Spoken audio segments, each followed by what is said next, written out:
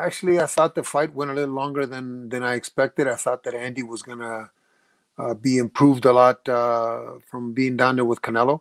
Uh, Chris is Chris. Chris is if he's uh, motivated, if he's prepared, and he stays in the gym. Uh, I know Joe Goossen's not the kind of guy that takes any shit from anybody, so I knew that he was going to be in shape. I knew that uh, we're going to get a good Chris. Yes, he is 40 years old, but he's still an, an, an exceptional how can I put it, a, a good contender. Uh, he's um, he's had a crack at the title and hasn't been successful, but doesn't mean that he's not a very good fighter. Uh, Andy Ruiz was in my camp. He sparred with some of my guys. I knew what Andy had, and Andy is not. Uh, Andy has got to uh, has got to take advantage of his of the qualities that he has. Uh, he's not going to be Canelo. He's not going to be anybody else. He's got to be Andy. And uh, the guys in my gym, at times, uh, in in the other gym where he was at, kind of showed him that he had a, a long ways to go. Uh, if he stays with Eddie and he continues to have discipline like he did for this fight, uh, and I don't mean just because he lost some weight, because he lost that same kind of weight when he was with me.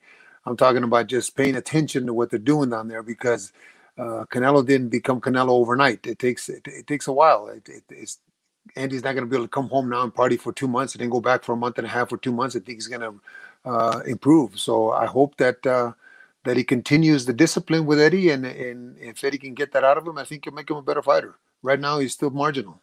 Did you notice that? Did he have discipline problems when he was with you?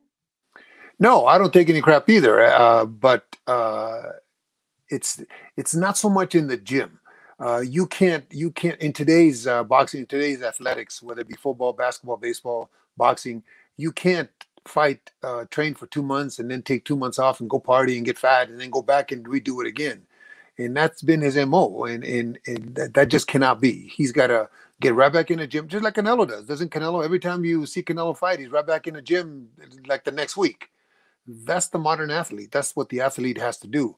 If Andy chooses not to do that, well, then it's going to be uh, the same Andy all the time. Uh, no improvement, uh, no no further development.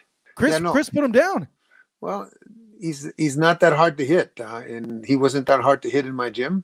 Uh, just he's got fast hands and and and he's uh, he's got uh, great skills, but uh, it, just those those two things are not going to make you uh, uh, he a world champion again. He caught Joshua on an off night, and he had a, the best night that he could ever have, and he became champion. Now I hope that he doesn't expect it to be that easy again.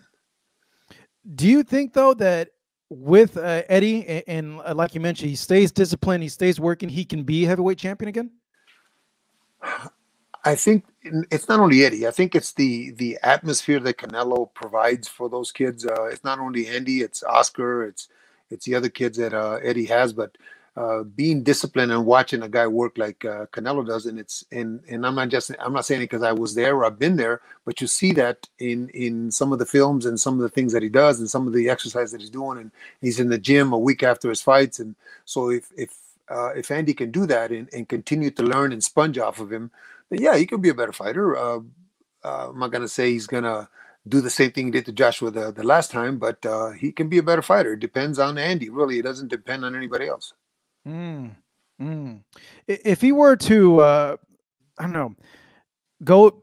They talked about him either facing Wilder or Ortiz. Like, uh, like stylistically, like how do you see those fights for him? Ortiz is a better fight for him. He doesn't want to face Wilder. He'll get, he'll be flat on his back, and be hurt.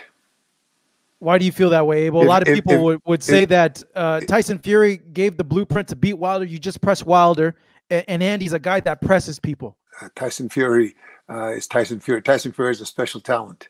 Andrew Ruiz is not yet.